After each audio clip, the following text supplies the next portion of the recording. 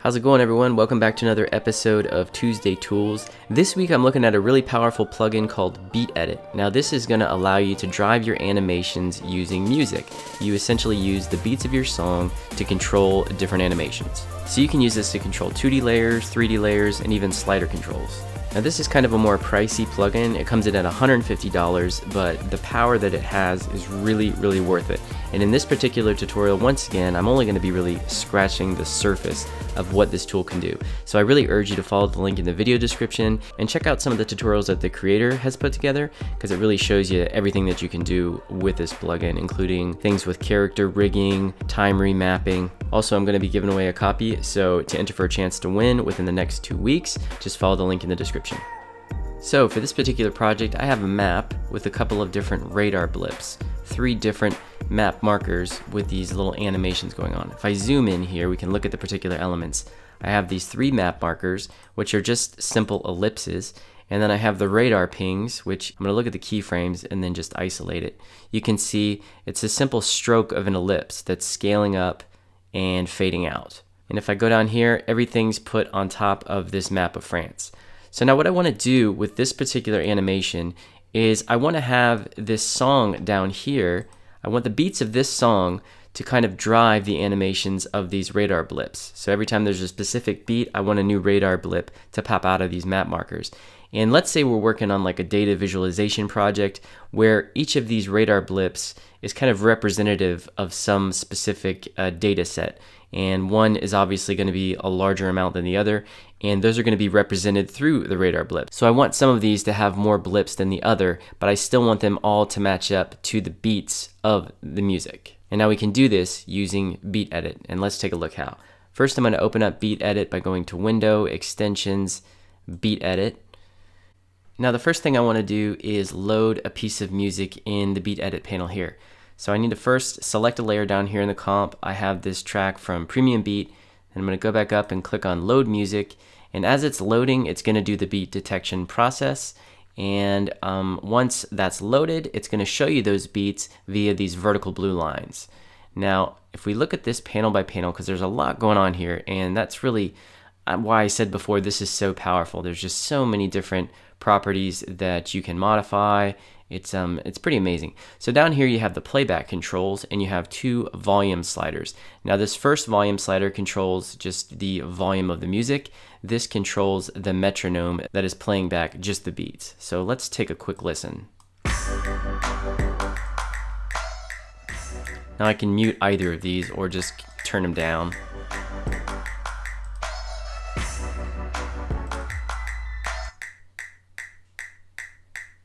Now down here in this beat wiggle panel is where you can take that beat information and apply it to different types of layers via these animation presets. Now if you look at layer type, we have slider, 2D, and 3D layer. And if you look under presets, there's just a whole bunch of different very cool options.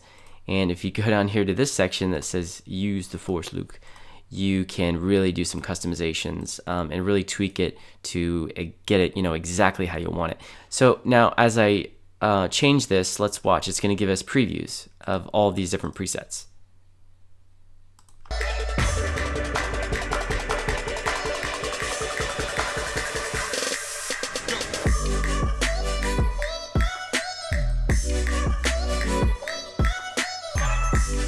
Very very cool now if we go to beat selection, this is where we can really specify if we want to change the number of beats. Like we can have one beat every um, eight beats, so I can just go and select a different number. But the key thing to take away from this and to be aware of is that this is going to apply this wherever your current time indicator is. So I'm just going to go ahead and bring my playhead back to the beginning, and I can switch this to every eight beats and we can select evenly or randomly. I want it to be even and then I'm going to hit select and now you can see that's changed the number of beats. Now I can subdivide beats and you can see that I can even add extra markers and customize how those markers are displayed. There's, there's some really cool options here. I'm gonna go ahead and turn that off. If I go over here to beat info, this is gonna give us, uh, you know, show us some information like beats per minute, total number of beats. And this is really helpful if you're working on a project and you wanna get super specific and mathematical, which I do on some projects, you know, Now up here is one of the more important areas. This is your toolbar where if I deselect the layers, I could just add markers based on that beat information. Now you're going to see I have my comp markers and if I zoom out, it has applied markers for every single beat. Now I could do that to a layer as well. If I selected this layer and I simply hit the marker button, now it's applied to the layer. So that's super powerful and I can go ahead and delete those if I want, deselect and delete them from the comp as well. I can move markers to a specific, um, you know, wherever my current time indicator is. I have copy and paste tools. I can repeat keyframes and then I can stagger both layers and keyframes. So now how are we going to use this on this particular animation? So as I said before, we want these map markers to kind of ping their little radar blips at different amounts. One, you know, is going to be um, pinging really fast. The other is going to be a bit slower. So let's say this top one here is going to be pinging the slowest. And the slowest amount is going to be every 8 beats, which we already have selected here. So now what we want to do is we want to grab our radar ping for this particular one, which is directly beneath the layer here. And I'm going to go ahead and duplicate this a few times. And I think that's going to be enough. Now I'm going to go ahead and select all of those radar pings. I'm going to reposition this so we can see what we got going on here. And now I can simply go up here and select stagger layers. And as I click that, it's going to bring up the dialog box. And if I had the option to use comp markers, I could, but I don't have the comp markers placed. So I'm going to leave it on selected beats, click OK. And now it's going to basically stagger these. And you're going to see that top one. And now that is basically going with those beats. So let's let's do a little render preview here.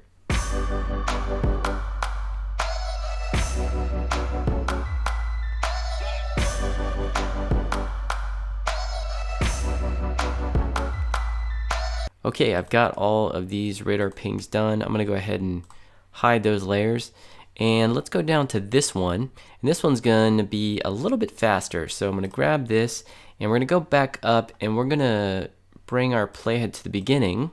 And we're going to change this to every four beats and select that. And let's have a quick listen.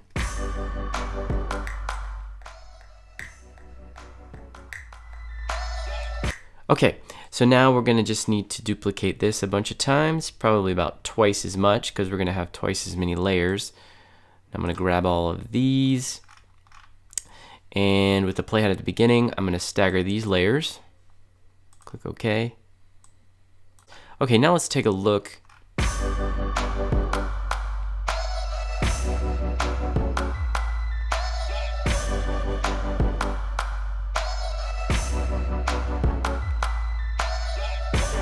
Alright, very cool. Now I'm going to go ahead and hide all of these just to keep things neat. And for my last one, I'm going to make this one go super fast. So we're going to go back, bring our playhead to the beginning, switch this to every two beats, select, and now you can see we've got a lot of beats going on here. So I'm gonna go down here to this radar ping and duplicate it just a bunch of times. Um, I don't even know how many times we should do this. Let's do one more. Okay, here we go. Now I'm gonna grab all these. That was probably way overkill. With my playhead at the beginning, I'm gonna stagger these layers now let's take a look at the final product. Alright, so that's the Beat Edit plugin for Adobe After Effects. Once again, I urge you to follow the link in the video description and check out some of the tutorials that were put together by the creator. There's just some amazing things you can accomplish with this tool. And if you like the video, be sure to hit that thumbs up button and stay tuned for next week where I'm going to be taking a look at another cool After Effects tool. See you next week.